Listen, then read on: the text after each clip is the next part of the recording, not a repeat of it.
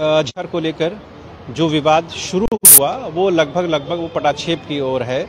लेकिन चूँकि झारखंड की पहचान आदिवासियों से है, मूलवासियों से है, लिहाजा उनकी आवाज़, उनकी बात भी सुनी जानी चाहिए। क्योंकि उस पहाड़ी पर सिर्फ़ जैन धर्म का हक अधिकार नहीं है, ऐसा जनजाति समाज के लोग कहते हैं। मारांग गुरु उनके देवता हैं, उनकी परस्ती वो ज़माने से करते आए हैं। लिहाजा उस पहाड़ को सिर्फ़ समेत शिखर के नाम से नहीं जाना चाहिए, बल्कि मारांग गुरु के नाम से भी जाना जाना चाहिए। और उस क्षेत्र में रहने वाले संताली समाज के लोग वर्षों से यूँ कहें कि ज़माने से वहाँ प्रस्तिश करते आए हैं। इस वक्त हमारे साथ मौजूद हैं आदिवासी समाज के बड़े नेता, पूर्व सांसद, सिंगल अभियान के राष्ट्रीय अध्यक्ष, सालखन मुर्मू जी। आखिर इस बात का विरोध क्यों है दादा? कि जब एक तौर पर केंद्र सरकार हो या राज्य सरकार हो, इसका पटाक्षेप करने की कोशिश कर रही है और वो पटाक्षेप लगभग हो भी चुका है। तो इस बीच में ये फिर से आवाज़ उठ रही है ये क्या पहले आवाज़ उठती तो ज़्यादा रिलेवेंट रहती या अभी अब जब विवाद लगभग समाप्ति की ओर है, फिर आवाज़ उठाने की क्या ज़रूरत है? देखिए, पारसनाथ पहाड़ को हम आदिवासियों के लिए ईश्वर का दर्जा है। हम मारंग बुरु के नाम से उसको जानते हैं। तो पहले भी इस पर विवाद होते रहे हैं। और यहाँ तक कि अंग्रेज़ों के ज़माने में अंग्रेज़ों का भारत के लिए जो सुप्रीम कोर्ट था प्रेवी काउंसिल तो प्रिवी काउंसिल में भी इस पर विवाद को हल किया गया था और उसने कहा कि पारसनाथ पहाड़ पर आदिवासियों का अधिकार है। तो हम लोगों का ऐसा मानना है कि पारसनाथ पहाड़ पर, उस मामले पर राज्य सरकार और केंद्र सरकार बिना आदिवासियों के पक्ष को सुने और समझे, कोई भी फैसला करेगा तो निश्चित है आदिवासी समाज उसका विरोध करेगा। तो अभी की हालात में हमारी मांग ये है कि अभी भी पारसनाथ पहाड़ के इर्द गिर्द केवल आदिवासी संताल का गाँव है और हम आदिवासी तो पहाड़ पर्वत को ही ईश्वर मानते हैं, सभी तरफ़। तो वहाँ हमारा जब ईश्वर है, हमारा तीर्थ स्थान है, हमारा पूजा स्थल है और वहाँ के पूजा स्थल को हम लोगों ने जुग ज़ाहिर का भी नाम दिया है। माने जुग जुग से हम ये करते आ रहे हैं। तो अभी की हालत में संक्षेप में हम यही कहेंगे कि वहाँ पर आदिवासियों के अधिकार को बहाल किया जाए। शांतिपूर्ण ढंग से, वरना आदिवासी पूरे देश में आंदोलन करेगा। इसलिए करेगा कि हमारी आँखों के सामने हमारा जो ईश्वर है, उस पर हमला हो रहा है। उस पर लूट की बात हो रही है। लूट लिया जा रहा है। और इसके लिए जो झारखंड सरकार है, हेमंत सोरेन सरकार, उसने जो लिख के सरेंडर कर दिया, आदिवासियों को एक प्रकार से बेच दिया, उसके धर्म को, उसके ईश्वर को तो इसके लिए अभी बड़ा आंदोलन शुरू हो रहा है। आदिवासी संगेल अभियान की तरफ़ से हम लोगों ने 17 जनवरी को पाँच राज्य के 50 जिलों में धरना प्रदर्शन करने का फैसला ले लिया है। राष्ट्रपति को पहले हम ज्ञापन देंगे। और आज से ही 17 तारीख तक पाँच प्रदेशों में हेमंत सरकार का पुतला दहन भी होगा।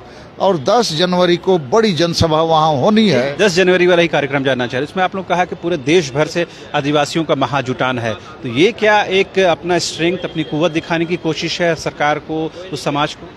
देखिए 10 जनवरी जो है एक प्रकार से जो हमला हो गया है मरंगुरु पर उसके खिलाफ में लोगों के मन में जो आक्रोश है इमोशन है इससे लोग आ सकते हैं आएँगे।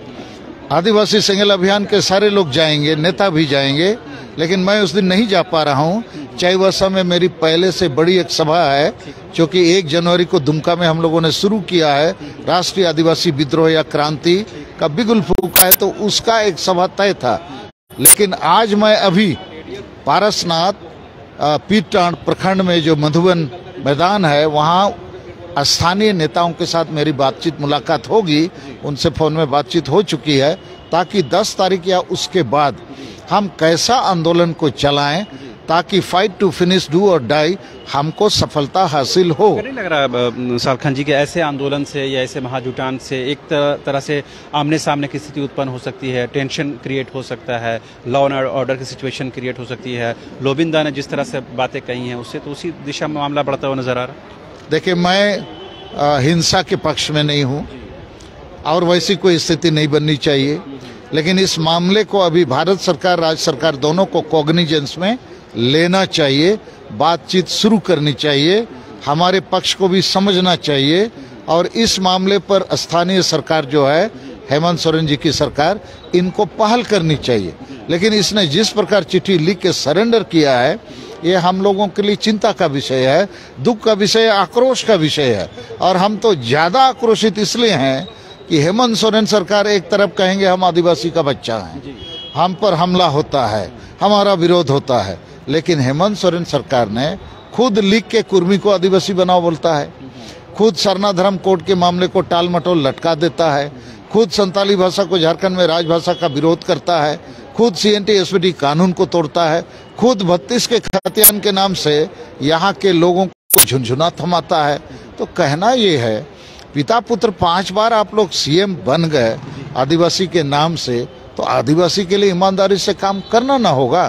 तो मारंग बुरु का मामला लेकिन आग को जलाने जैसा मामला बनता है। ये जो आपने अभी एग्ज़ाम्पल भी दिया कि जिस तरह से अयोध्या में राम मंदिर को लेकर आंदोलन हुआ और एक जो ढांचा था उसको विध्वंस कर दिया गया आप कहते हैं कि हमको भी उसी दिशा में आंदोलन करने की ज़रूरत है?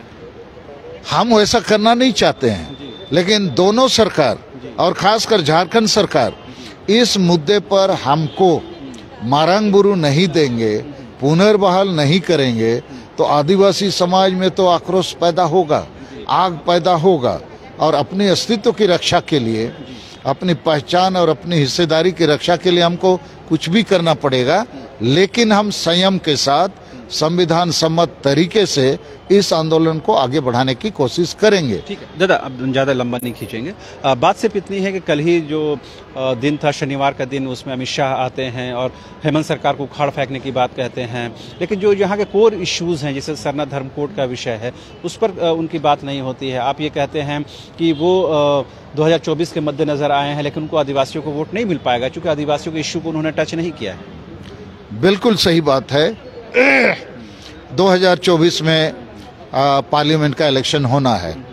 तो निश्चित है मोदी साहब, अमित शाह साहब, झारखंड, बंगाल, उड़ीसा आदि राज्यों में जहाँ उसकी सरकार नहीं है, वो आदिवासियों का वोट लेना चाहेंगे, क्योंकि इन तीन राज्यों में आदिवासी का वोट जो है ना, निर्णायक वोट है। वो जिधर जाएगा, उसको बढ़त मिलेगी। तो यहाँ पर कोर इशू अभी है, सरना धर्म कोड का मामला, मान्यता का। तो हमने पहले भी अपने विभिन्न प्रकार से मीडिया के माध्यम से उनके तक पहचान चिट्ठी भी भेजा है अमित शाह साहब को, प्रधानमंत्री को, कि सरना धर्म कोड दो, आदिवासी का वोट लो। और कुर्मी महतो को आदिवासी मत बनाओ, नहीं तो जो असली आदिवासी हैं, उनका नरसंहार हो जाएगा। तो इन दो मुद्दों पर अमित साहब साहब, अमित शाह साहब ने कल चेबासा में कुछ नहीं बोला। तो मेरे हिसाब से वोट क्या का मिलेगा? वो केवल हेमंत साहब को गरियाते रहे, और विकास की बात करते रहे। विकास तो हम आदिवासियों के लिए अब तक विनाश साबित हुआ है। तो मुझे लगता है अमित साहब साहब ने कल चैवासा में चुनाव का जो संक्रांत किया है, ये उनका फ्लप हो गया है, बेकार साबित होगा। और मेरे हिसाब से तो उनको ऐसा करने से वोट भी नहीं मिलेगा। अब वोट मांगने का नैतिक अधिकार भी नहीं बनता है। एक फिर एक पारसनाथ की तरफ़ लौटते हैं। चूँकि आपने खुद ही कहा कि झारखंड में जो आदिवासियों का वोट है वो निर्णायक है। दो साल के अंदर विधानसभा और लोकसभा चुनाव होने हैं और संथाल की वहाँ बहुलता है पारसनाथ और उसके आसपास के इलाकों में। तो अगर हेमंत सरकार ऐसा डिसीज़न लेती है जो सीधे से संतालियों को हर्ट करता है इस आप ये आकलन करते हैं कि 2024 के विधानसभा या लोकसभा चुनाव में इसका इम्पैक्ट रहेगा? बिल्कुल इम्पैक्ट रहेगा। यदि मारंग बुरु को हमको नहीं दिया जाएगा सरना धर्म कोड नहीं दिया जाएगा तो संताल आदिवासी बीजेपी को वोट क्यों देंगे? तो मेरी कोशिश होगी, मैं आदिवासियों के लिए लड़ता हूँ, मरता हूँ, कि राष्ट्रपति जी को, प्रधानमंत्री जी को गृह मंत्री जी को मैं समझाने की कोशिश करूँगा। अभी थोड़ा समय है, आप सरना धर्म कोड भी दे दीजिए, मारांग गुरु भी दे दीजिए, आप सरकार बनाइए, आदिवासियों को जीने दीजिए, नहीं तो आपकी सरकार भी नहीं बनेगी। और आदिवासियों के लिए कठिनाई पैदा होगी। तो यहाँ आग जलेगा तो नुकसान सबको होना है। तो हम सबके फ़ायदे की बात करें और एक ऐसे रास्ते को चुने ताकि शांति बनी रही, प्रगति भी हो। एक सवाल दादा, इस तमाम विषयों के बीच में आपकी नज़र में कोई ऐसा रास्ता है जिससे जैन समुदाय भी खुश हो जाए? आप जो जनजाति समाज है, उनको भी उनका हक और अधिकार मिल जाए। कोई ऐसा रास्ता को सुझा सकते हैं केंद्रीय राज्य को? नहीं, अभी तो हम कोई बात प्रस्ताव के रूप में नहीं रखेंगे। रास्ता ज़रूर निकलेगा, लेकिन अभी पहली बात है, हम भारत के आदिवासी और खासकर संताल आदिवासी चाहते हैं, मारंग बुरु हमको पुनर्बहाल किया जाए। इस पर बातचीत शुरू की जाए। जब बातचीत शुरू होगी, ज़रूर कोई ना कोई रास्ता निकलेगा, क्योंकि हमारा मकसद समाधान करना है। तो आपने सुना, ये थे पूर्व सांसद सालखन मुर्मू जी, जिन्होंने कहा कि केंद्र ने हो या राज्य सरकार ने पारसनाथ, सम्य शिखर या मारांग बुरु को लेकर जो डिसीज़न लिया है, वो आदिवासी समाज को एक्सेप्ट नहीं है, लिहाजा इसका प्रतिकार होगा। और 10 जनवरी को एक बड़ा महाजुटान पूरे देश भर के आदिवासी उसे इलाके में जुटेंगे और वहाँ कोई ना कोई प्रस्ताव पारित किया जाएगा। यहाँ तक आगामी विधानसभा या लोकसभा चुनाव में इसका इम्पैक्ट का सवाल है। तो निश्चित तौर पर झारखंड में आदिवासियों की, मूलवासियों का जो वोट है, वो झारखंड में निर्णायक साबित होता है। अगर वो हट होंगे, ज़ाहिर सी बात है, इसका कहीं ना कहीं असर 2024 के विधानसभा या लोकसभा चुनाव में देखने को मिलेगा। जहाँ तक अमित शाह के झारखंड यात्रा का सवाल है, उन्होंने कुछ भी ऐसी बात नहीं की है जो आदिवासियों को अटैच करे अट्रैक्ट करे। लिहाजा उनका कहीं ना कहीं ये राजनीतिक जो दौरा है, वो फ्लॉप हुआ है, ऐसा सालखन मुर्मू जी मानते हैं। फ़िलहाल मुझे और मेरे कैमरा सहयोगी संजय को दीजिए इजाज़त, नमस्कार। चार धामों में से एक, रामेश्वर धाम सहित तिरुपति बालाजी, कन्याकुमारी मदुरई माँ मीनाक्षी देवी और श्री मल्लिकार्जुन ज्योतिर्लिंग का झारखंड में सबसे कम दर पर सब परिवार दर्शन लाभ का अनुपम अवसर। संपर्क करें माँ कामाख्या धार्मिक रेल यात्रा, केसरी नर्सिंग होम, पहला तल्ला तिसका मोड़, रांची।